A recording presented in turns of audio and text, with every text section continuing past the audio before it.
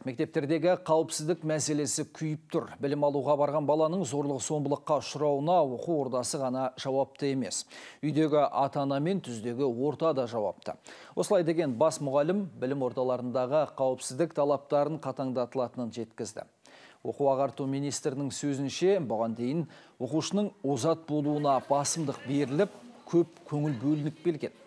Ал оның бас амандығы тасада қалып қалған деді министр олқылықты түзету үшін бір тұтас тәрбие бағдарламасы қолға алыныпты. Бұл мәселеде ата аналардың да жалпы қызығушылығын арттыру көзделіп отыр. Оған қатысты ата аналарды педагогикалық қолдау орталықтары әр мектептен ашылу көзделген.